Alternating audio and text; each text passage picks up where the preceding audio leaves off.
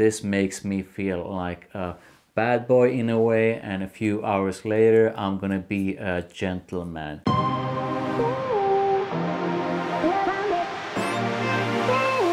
Hi guys, welcome to Rotten Rebel. Today I have my good friend Sandra with me and we are going to do a joint review of red tobacco from Mancera. So the reason why we're doing a joint review of red tobacco is because we did a surprise perfume gift and I gifted Sandra with red tobacco so I really wanted her feedback on the gift that I gave her. So instead of me just doing this review, we are going to get her reactions to it as well. So let's get it on. Some of the notes in red tobacco are cinnamon, oud, and saffron. It also has jasmine and patchouli, and of course, tobacco and vanilla. So how does red tobacco smell? Let's try it out. Yes.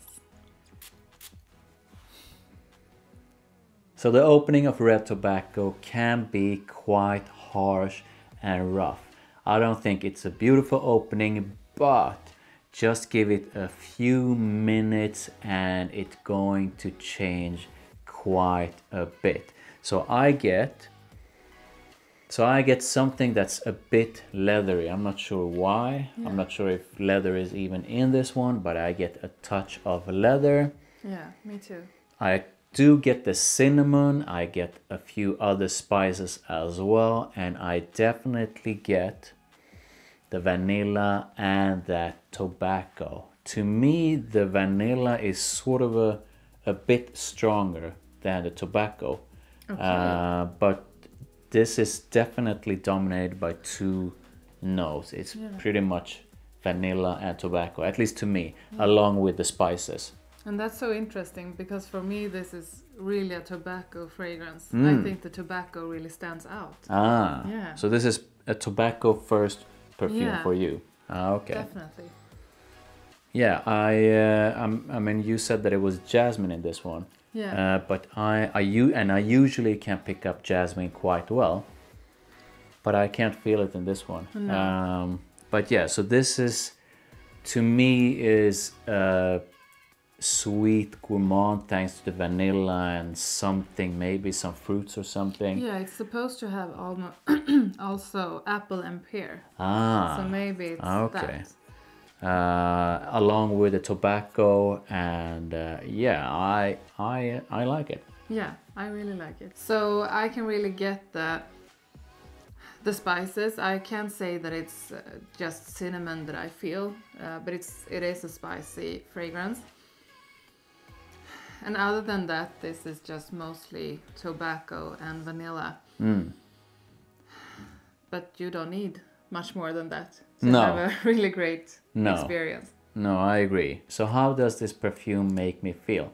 Well, the opening and the first part of this perfume makes me feel kind of a bad boyish, if I'm gonna put it that way. Like I'm gonna stir up some shit or have a lot of fun, something along with those lines. But the dry down is completely different. The dry down is actually quite a bit elegant and sweet, if I'm gonna put it that way. So yeah, I like the two different kinds of ways that this makes yeah. me feel. It feels like this perfume has two different kinds of personalities and I love those kind of perfumes. Uh, so yeah, I guess the best way to describe it is that this makes me feel like a bad boy in a way and a few hours later I'm gonna be a gentleman. Uh, so yeah, that's the way this makes me feel. How does this make you feel? Yeah, it's uh, funny you said bad boy because I was going to say that this is a, a true badass perfume. Ah. I would put this on maybe going to work in a, a really nice suit uh, just looking so cool and businesslike, and I would feel like a badass. But it ah. would also go well together with uh, a romantic black dress for a date. Yeah. So it really is, as you say, first it's bad boy, and then it's uh, a gentleman. Yeah. Or woman. yeah. Okay, cool. So we we pretty much feel the same way then. Yeah. Okay, cool. So who is this perfume for?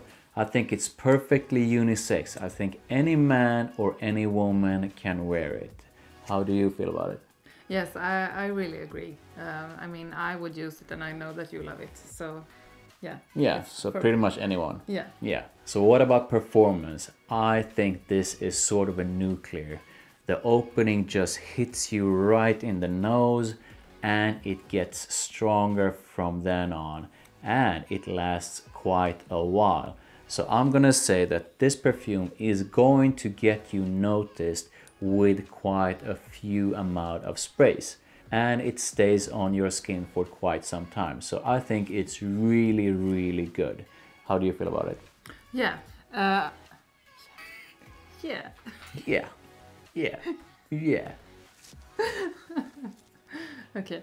Actually, the first time I tried this was just like an hour ago. Mm. Uh, and when I first sprayed it on, I sprayed four times. Uh, and I wasn't satisfied. I wanted more. Whoa, So I put on four four sprays more. in addition. Yeah. Ah, So uh, it is a strong perfume, but you, but not you- strong enough for you. Not then. strong enough for me. I want to have very much of it. Ah, okay, okay, well, cool. So who should buy red tobacco? And I'm gonna let you start. I think that this fits both men and women. I don't think it's a youthful uh, fragrance, so young people are probably not going to like it. Um, but anyone who just loves tobacco fragrances, since the tobacco is so um, so all over the place. Yeah, yeah, I'm gonna agree. I think both men and women can use it. Uh, I think you brought up a really good point in that this is probably not a youthful kind of perfume. Now, I'm the last one on earth who puts age or gender on a perfume. I really think that perfumes are limitless in every single way. But I fully agree on that this doesn't feel like something that I would have worn when I was younger. Uh, and I don't think most young people are going to enjoy it. So, yeah, I'm gonna say that either you are an experienced fragrance enthusiast and you have sort of explored all the different areas of perfumery and you know what you're doing, and then most likely you are going to enjoy it. Uh, or if you really love tobacco and vanilla kind of perfumes, then this is most likely uh, right up your alley. But if you do not enjoy tobacco uh, or vanilla, then this is obviously not for you. So, how are we going to rate this perfume? This is one of the perfumes that I will have on my shelf together with my other exclusive favorite perfumes. So, this is a perfume that I know that I will use a lot and that I will uh, really like and enjoy having on. So, because of the tobacco together with the vanilla, which is a favorite of mine, not as much a favorite as it is for you. Um, but I am going to give it, I think, a nine because it's a really, really good fragrance. Ah, Okay, cool. Um, yeah, I think uh, I really like red tobacco. I've been through quite a few of these. Um, and I enjoy the tobacco and I enjoy the vanilla in it. I think this has different kinds of personalities as well. So, like I said before, it does make me feel like a bit of a bad boy, but at the same time, a gentleman as well. And I love that in perfumes. So, with that said, I am going to give it like an 8. I think it's a really good perfume, uh, but it's not a perfect rebel, if I'm going to put it that way. And I highly recommend it if you enjoy tobacco fragrances um, and if you like basically sweet gourmand perfumes with tobacco in them. Yeah. And when you give a perfume an eight, it's a good perfume because you don't give that high ratings. So No, yeah, my eights. Uh, if if I'm if if I give a perfume an eight, it's it's it's pretty dead. Uh, so yeah, if I give a perfume an eight, that's a really good rating. Yeah. So yeah, you think it's really, really, really good, and I think it's really good, and we both recommend it. That was it for our review of Mancera's Red Tobacco. I hope you enjoyed this review. If you did, then I would highly appreciate if you would smash that like and don't forget to subscribe to me, Rotten Rebel, and to Sandra's channel. And I'll see you in my next video. Bye. Bye.